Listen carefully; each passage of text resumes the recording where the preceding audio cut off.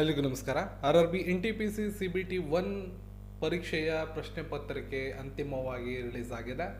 ನಿಮ್ಮ registration number date of ಬರ್ತನ್ನು entry ಮಾಡಿ ಅಫಿಷಿಯಲ್ ಸೈಟ್ಗಳಲ್ಲಿ ಹೋಗಿ, ನೀವು ಯಾವ ಆರ್ ಆರ್ ಬಿಗೆ ಅರ್ಜಿಯನ್ನು ಸಲ್ಲಿಸಿದ್ರೆ ಅಲ್ಲಿ ಹೋಗಿ ನೀವು ಈ ಒಂದು ಪ್ರಶ್ನೆ ಪತ್ರಿಕೆಯನ್ನು response candidate response question paper ಏನಿದೆ ಅದನ್ನು ನೀವು ಚೆಕ್ ಮಾಡ್ಕೋಬೋದು.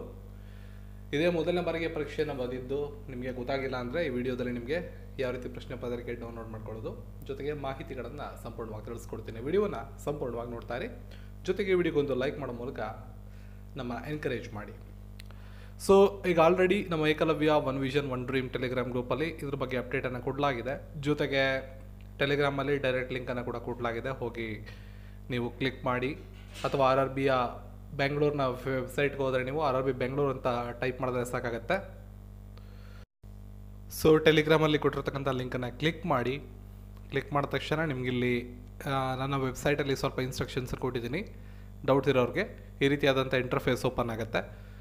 ಸೊ ಇಲ್ಲಿ ಅಫಿಷಿಯಲ್ ವೆಬ್ಸೈಟು ಮತ್ತು ಲಿಂಕ್ ಆ್ಯಕ್ಟಿವೇಶನ್ ಫಾರ್ಮ್ ಏನಿದೆ, ಇಲ್ಲಿ ಕ್ಲಿಕ್ ಮಾಡಿ ಅಂತ ಏನಿದೆ, ಇದ್ರ ಮೇಲೆ ಕ್ಲಿಕ್ ಮಾಡಿಕೊಂಡ್ರೆ ನಿಮಗೆ ಅದು ಓಪನ್ ಆಗುತ್ತೆ. ಈಗ ತುಂಬ ಯೂಸರ್ಸ್ ಇರೋದ್ರಿಂದ ಸರ್ವರ್ ಸ್ವಲ್ಪ ಬ್ಯುಸಿ ಬರ್ತಾ ಇದೆ. ಇವಾಗ ನೀವು ಇಲ್ಲಿ ನೋಡ್ಬೋದು ಈ ರೀತಿಯಾದಂಥ ಇಂಟರ್ಫೇಸ್ ಬರುತ್ತೆ. ಇಲ್ಲಿ ನಿಮ್ಮ ರಿಜಿಸ್ಟ್ರೇಷನ್ ನಂಬರನ್ನು ಎಂಟ್ರಿ ಮಾಡಿ, ನಿಮ್ಮ ಡೇಟ್ ಆಫ್ ಬರ್ತನ್ನು ಎಂಟ್ರಿ ಮಾಡಿ ಲಾಗಿನ್ ಅನ್ನೋ ಆಪ್ಷನ್ ಮೇಲೆ ನೀವು ಕ್ಲಿಕ್ ಮಾಡಬೇಕಾಗತ್ತೆ. ಸೊ ಒಂದ್ಸಲ ನೀವು ಲಾಗಿನ್ ಆದರೆ ನಿಮ್ಗೆ ಈ ರೀತಿಯಾದಂಥ ಇಂಟರ್ಫೇಸ್ ಬರುತ್ತೆ. ಒಂದು ಕಡೆ ಕ್ಯಾಂಡಿಡೇಟ್ ಡೀ ಕ್ಯಾಂಡಿಡೇಟ್ ಡೀಟೇಲ್ಸು ಮತ್ತೊಂದೇ ಕ್ಯಾಂಡಿಡೇಟ್ ರೆಸ್ಪಾನ್ಸು ಮೊಬೈಲ್ ಫೋನಲ್ಲಿ ನಿಮಗೆ ರೈಟ್ ಸೈಡಲ್ಲಿ ತ್ರೀ ಡಾಟ್ಸ್ ಇರುತ್ತೆ, ಅಲ್ಲಿ ಕ್ಲಿಕ್ ಮಾಡಬೇಕು. ಅಥವಾ ನೀವು ಡೆಸ್ಕ್ಟಾಪ್ ಮೋಡ್ ಮಾಡ್ಕೊಳ್ಳಿ ಮೊಬೈಲ್ ಫೋನಲ್ಲಿ ಯೂಸ್ ಮಾಡೋರು ಡೆಸ್ಕ್ಟಾಪ್ ಮೋಡ್ ಮಾಡ್ಕೊಂಡ್ರೆ ರೀತಿಯಾದಂಥ ಇಂಟರ್ಫೇಸ್ ಬರುತ್ತೆ, ಅಥವಾ ಲ್ಯಾಂಡ್ಸ್ಕೇಪ್ ಮಾಡ್ಕೊಂಡ್ರೆ ರೀತಿಯಾದಂಥ ಇಂಟರ್ಫೇಸ್ ಬರುತ್ತೆ. ಸೊ ಕ್ಯಾಂಡಿಡೇಟ್ ಡೀಟೇಲ್ಸ್ ಅಂತ ಇರುತ್ತೆ ಇಲ್ಲಿ ನಿಮ್ಮ ರಿಜಿಸ್ಟ್ರೇಷನ್ ನಂಬರು ನಿಮ್ಮ ಪೂರ್ಣ ಹೆಸರು, ನಿಮ್ಮ ತಂದೆ ಹೆಸರು ಜೆಂಡರ್ ಮತ್ತು ಕಮ್ಯುನಿಟಿ ಇಷ್ಟು ಕ್ಯಾಂಡಿಡೇಟ್ ಡೀಟೇಲ್ಸ್ ಇರುತ್ತೆ. ನೆಕ್ಸ್ಟ್ ನೀವು ಕ್ವಶನ್ ಪೇಪರ್ ಡೌನ್ಲೋಡ್ ಮಾಡ್ಕೊಳ್ಳೋದಕ್ಕೆ ಎರಡನೇ ಆಪ್ಷನ್ ಇದೆ ಕ್ಯಾಂಡಿಡೇಟ್ ರೆಸ್ಪಾನ್ಸ್ ಅಂತ. ಇದ್ರ ಮೇಲೆ ಕ್ಲಿಕ್ ಮಾಡಬೇಕು. ಸೊ ಅದರ ಮೇಲೆ ಕ್ಲಿಕ್ ಮಾಡಿದ್ರೆ ಈ ರೀತಿಯಾದಂಥ ಇಂಟರ್ಫೇಸ್ ಓಪನ್ ಆಗುತ್ತೆ. ಕ್ಯಾಂಡಿಡೇಟ್ ರೆಸ್ಪಾನ್ಸ್ ಅಂತ ಇರುತ್ತೆ. To download your question paper for assessment R R B N T P C exam click here ಅಂತ ಆಪ್ಷನ್ ಇರ್ತದೆ ನೀವು ಲಾಗಿನ್ ಆಗಿರೋದ್ರಿಂದ, ನಿಮ್ಮ ರಿಜಿಸ್ಟ್ರೇಷನ್ ಇದು ಕೊಟ್ಟಿರೋದ್ರಿಂದ ನಿಮ್ಮ ಪ್ರಶ್ನೆ ಪತ್ರಿಕೆಯಲ್ಲಿರುತ್ತೆ ಇದ್ರ ಮೇಲೆ ನೀವು ಕ್ಲಿಕ್ ಮಾಡ್ಕೋಬೇಕಾಗತ್ತೆ.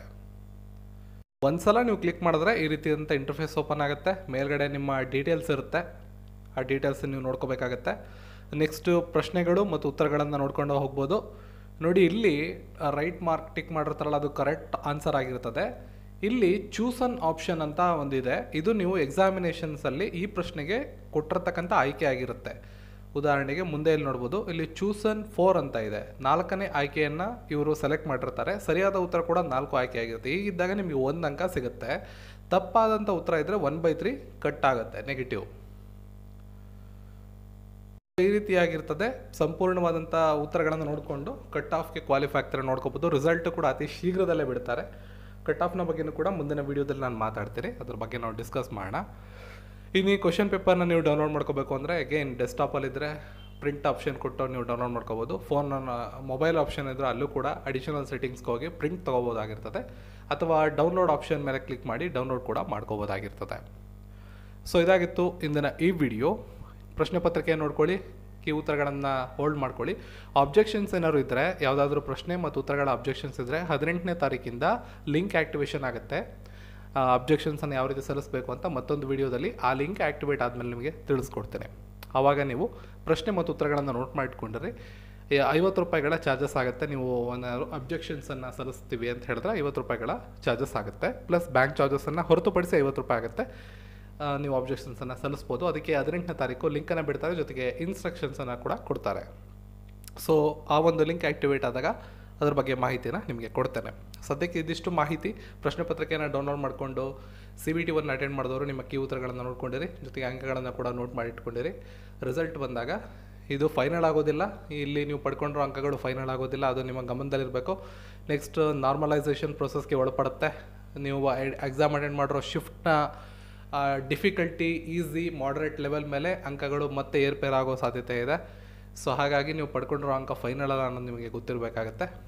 ಇದಿಷ್ಟು ಒಟ್ಟಿನಲ್ಲಿ ನೀವು ನೂರು ಅಂಕಗಳಿಗೆ ಎಷ್ಟು ಪಡೆದಿದ್ದೀರಾ ಅಂತ ಒಂದು ಒಂದು ಮಾರ್ಕ್ ಮಾಡಿ ಇಟ್ಕೊಂಡ್ರೆ ನಾರ್ಮಲೈಸೇಷನ್ ಆದಮೇಲೆ ನಿಮ್ಮ ಅಂಕಗಳು ಎಷ್ಟು ಹೆಚ್ಚಾಗಿದೆ, ಎಷ್ಟು ಕಡಿಮೆ ಆಗಿದೆ ಅಂತ ಗೊತ್ತಾಗುತ್ತೆ ಡಿಪೆಂಡಿಂಗ್ ಅಪಾನ್ ದ ಶಿಫ್ಟ್ ಅದ್ರ ಬಗ್ಗೆ ಮುಂದಿನ ವಿಡಿಯೋದಲ್ಲಿ ಮಾತಾಡೋಣ. ಸಿಗೋಣ ಮತ್ತೊಂದು ವಿಡಿಯೋದೊಂದಿಗೆ ಎಲ್ರಿಗೂ ಧನ್ಯವಾದಗಳು.